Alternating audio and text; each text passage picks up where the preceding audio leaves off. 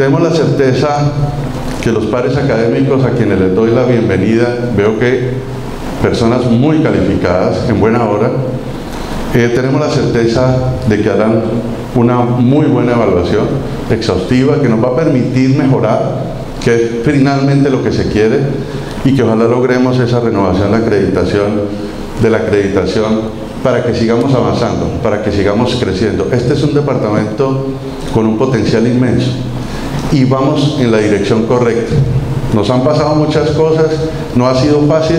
pero es un departamento que tiene empuje y le gusta trabajar y salir adelante. Y hoy estamos en un momento donde hemos logrado una armonización y una articulación que a nuestro juicio es fundamental, en que todos los estamentos públicos y privados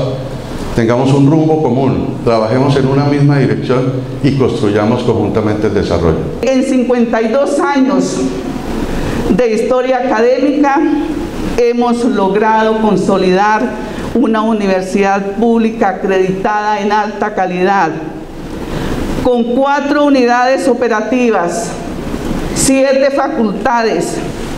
41 programas profesionales de oferta académica, dos tecnologías, 45 posgrados, 14 especializaciones,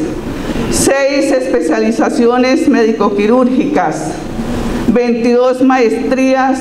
y 3 doctorados, con un número aproximado de 14 mil estudiantes y en la fecha, a la fecha tenemos 42 mil graduados en nuestro país.